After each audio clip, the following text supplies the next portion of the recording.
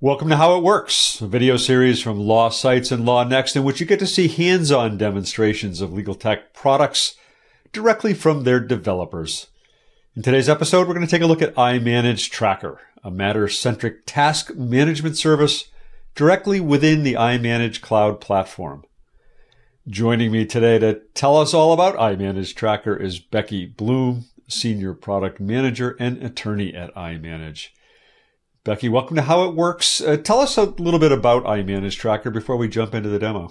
Sure, Bob. Hiya. So, we talked to a lot of law firms about gaps in their attorneys' workflows and kind of places they needed help along the day. And the number one thing we heard was basic task management.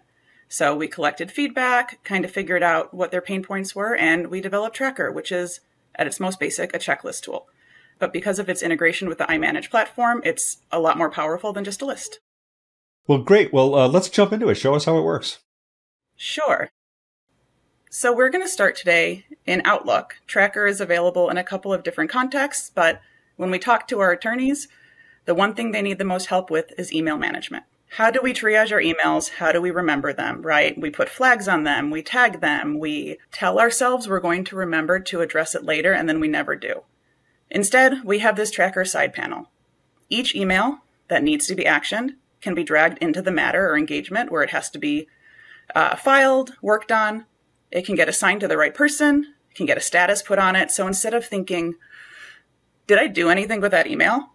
Am I actually remembering to do the right stuff with the right thing? It's there, it's on the matter, it is uh, assigned the date that it needs, it's assigned to the person who needs to work on it, and you don't have to use mental energy or just like silly Outlook tagging exercises to try to remember what to do with it. Any questions about that one? Really simple, really powerful. Really simple. I mean, I mean, I'm guessing the, the use case here is, you know, is pretty obvious that, that I mean, lawyers are working in their email all day long, but as you said, the keeping track of what it is they need to do in their email is a whole other issue, right? That's exactly right. We have, I'm not going to guess at percentages. I really want to, but we have so many of our attorneys, of our paralegals, of all of our end users sitting in Outlook all day, right? If that's where you're doing all the work, we want to make it easy for them to action items they need to action straight from where they're spending all their time. Great. So that was Tracker in Outlook. What I haven't really shown you yet is what is a tracker and what does it do? What does it look like in our UI? So let's move on to high level management of all your tasks and what it looks like. So this is our Work 10 home screen, right? It's where we land as soon as we start doing work in iManage. And this is our main task view every matter, every engagement where I have work assigned to me, it's all going to show up on this main screen. Maybe there's a matter I want to follow that doesn't have work assigned to me. I can pin it so I can keep up with it. Maybe a colleague's working on it. Maybe my team is working on it. And just from this view, I can review these tasks. I can action them. I can update deadlines. It kind of takes the static file, right? Like the Redweld, the, the normal file you have piled up in front of you, it takes it from static and it makes it dynamic. It makes it really easy to action the things you need to do uh, and really pinpoint the work you need to do. These tasks are also going to allow us to tie a file or a folder back to the task. So instead of saying, well, I have to triage something, I have to review something, I have to draft something, let me go find the thing I have to work on. The thing is right there on the task with the notes you need, with the status you need, and with all the other information you need to do your work feedback we get from a lot of attorneys, especially newer associates, is well, my managing partner has emailed me something. They said, go work on something. And then I have to go find the file. And it's impossible. So instead, you see, we just sent an email directly from the task with the link to the task, with the link to the checklist itself to really tie the work to be done to the task. We also know not all firms work from that matter basis. Some really work on deadlines, right? A transactional firm uh, maybe a corporate legal department. So we have that due date view. So I can see what's overdue, what's due today, what's due later. It's really important to us to work the way that our users work. Have this managerial view that'll show our assigned out tasks. So as I assign tasks out throughout the day, I can go ahead, I can peek them, I can see what the progress is. I can also view as another person. So for example, my colleague Yo was out on parental leave and I needed to keep up with his tasks. So I could go ahead, peek those tasks, check the timeline, check the history on it so I have context, And I think the most important part, I'm not going to see anything I'm not supposed to see because we have iManage's need to know security built right into it. Folks really also like using this kind of the left hand nav in Work 10. So we've mirrored that in Tracker, again, to work how people work. Whatever view people select, it's sticky. So if you prefer the tasks by due date, that'll always be there for you. And generally, however you want to navigate, we want to build this screen so it works the way that you work. Do you have any questions about that main task view, Bob? Uh, the only question is when you were showing the Outlook uh, integration before, I'm assuming that any of the tasks that get added in Outlook are then showing up here, right? Absolutely. That is an abbreviated view in Outlook mainly for the purposes of triaging emails. Right, but as right. soon as I drag an email in in the Outlook nav bar, that email will file to the matter. So it'll save to the matter and then it will show up on whichever screen I prefer, whether it's in this view from a computer or uh, the web page is responsive, so I can also go peek it from my phone. Okay, good. Great. So that was the kind of high level task view. What does the actual tracker look like, right? I've said a tracker is a checklist at its most basic. Checklists can mean a lot of things, so let's check them out.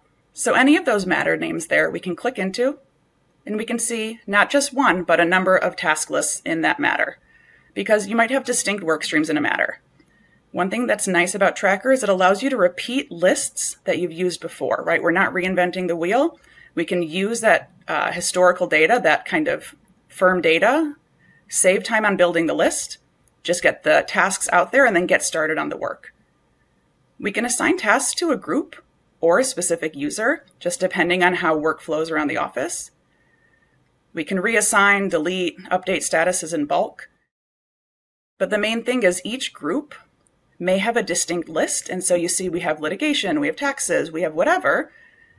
Only the lists where people have tasks assigned to them will show up in their main view, right? So we're using some, uh, we're prioritizing for people so they're not getting noise. That's a big thing we, we hear a lot mm. is if I get too many notifications on things, it will be noisy and it will be unhelpful. So we're trying really hard to really streamline the way that these to dos show up for people. There's a number of pop-ups whether somebody is restricted by security whether somebody is an external user um, just letting you know that that restriction exists and asking if you want to grant an exception for the task only. But trackers like foundation is built on respecting those security settings. So one list we just used from a previous tracker that was in the system we hear from a lot of firms who are emailing lists back and forth right that's how they keep up to date on their to-dos let's copy and paste that right into the tracker. Again, instead of rekeying the list, which you can do, we can go ahead, we can just paste it right into the tracker. We can map the fields. If any of the fields, um, maybe there's a user who's not actually in the system, the system will make a decision on what to import. We get that list in there and we start assigning it. We put fields on it, we'll put different files on it. One thing worth calling to attention is our status field. We have three states open, in progress, and closed. Because trying to compare how you track statuses across different matter types, it's not like and like, right? It's not apples to apples, it's apples to oranges. So at least with these high level states, we can then compare more easily when we're looking at high level views on statuses of tasks. The person who creates the tracker can go ahead, update those statuses, add whatever kind of status they think is relevant, maybe add some additional custom fields. I really like the idea of indicating is this an external facing task or not? Is this something I can share with my clients? Because hmm. then we can export this task list, filter by that, and then have a agenda ready for our next client meeting.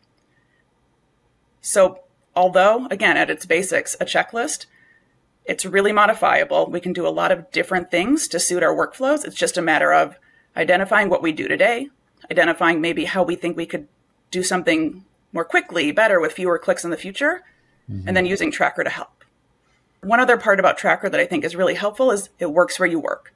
So as we click around, see files, see folders throughout the day in Work 10, we can immediately right click to action them.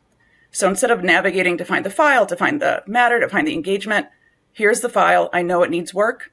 Let's create a task. Let's assign it. Let's get notes on it and then feel confident that the work that needs to get done is going to get done.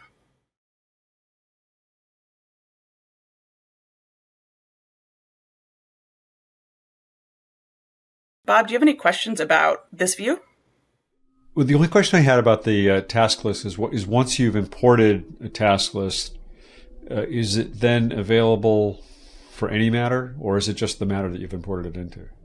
Great question. So once you've imported a task list, what I recommend, uh, or, or the way that we usually work on imported task lists, is we can save them and then reuse them. So it will take a firm if they don't have lists already, which is I think more common It'll take them a couple tries to figure out the list that works best for the matter type. And once they do, we'll save it as the type of task list it is. So whether it's litigation, whether it's a transactional matter, we'll give it a, you know, a helpful title. Mm-hmm. And then we can use it anywhere that the user creating the tracker is allowed to create a tracker, right? If, if they're not on the security of a matter, they can't do it. But mm-hmm. so long as it's a matter to which they have security allowance and they can go ahead and create or use that same list over. Great. Yeah. Thank you. Well, Becky, thanks so much for taking the time to show us Tracker today. Uh, thanks, Bob. We're really excited about Tracker. Uh, I think it makes a difference in the way people work and delighted to share it with you. Awesome. Well, that's it for this episode of How It Works. You can find the full series at lawnext.com. This is Bob Ambrogi. Thanks so much for watching.